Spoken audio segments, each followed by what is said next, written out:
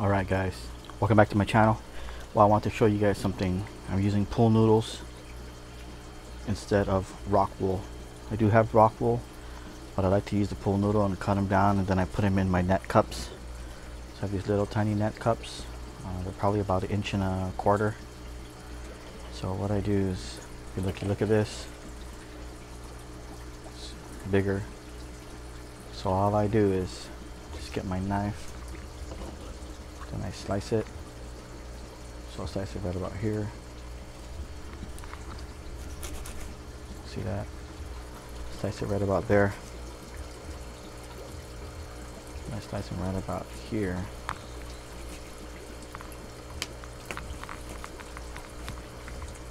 Alright. Then I just put this on top of another pool noodle just like this. Then I'll continue again. Slice it here, slice it here. And then check this out, when you squeeze it, it makes a small hole so your plant can fit inside. Now you can adjust this to the size of your net cup or your plant. I just put the plant right in here, squeeze them down, and I push them into this net cup. Just like that. Check it out. So you see it leaves a little gap. Now depending on the water levels, a lot of times I like to push this pool noodle down to about right about here.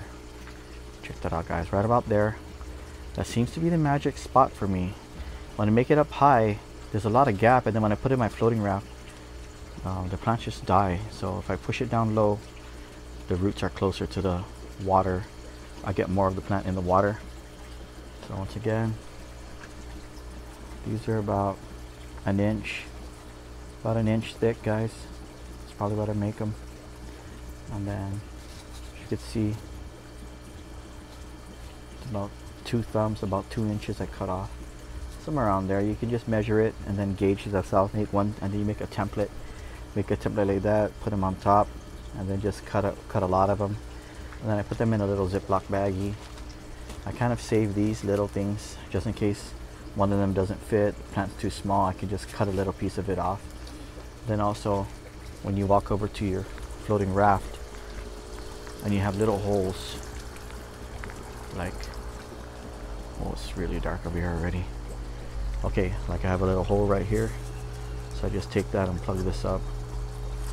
The reason why you want to plug that up is the more sunlight that comes in there, and the algae will form and then it'll grow.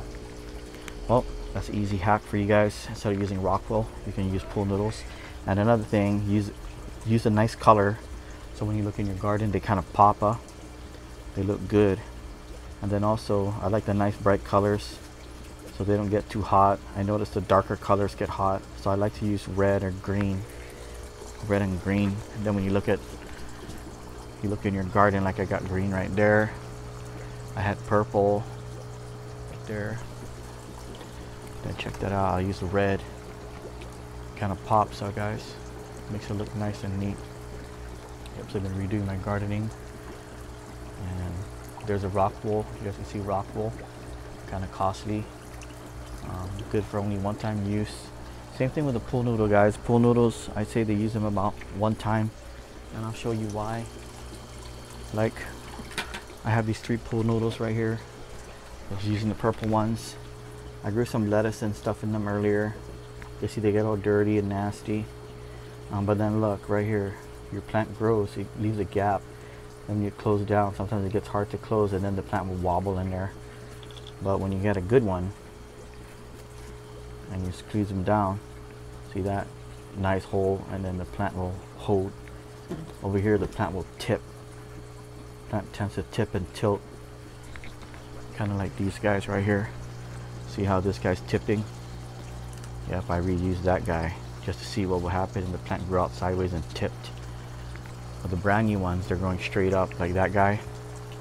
That pole was brand new I used on him. He's growing straight up see so that's the difference on the old pool noodles and the new pool noodles, guys. Alright, hit the like button if you like that content. Found it val valuable, hey, hit the subscribe button, check out more of my content. Hit the bell so you get notified when I post new content, new videos. Right on, guys. Leave a comment.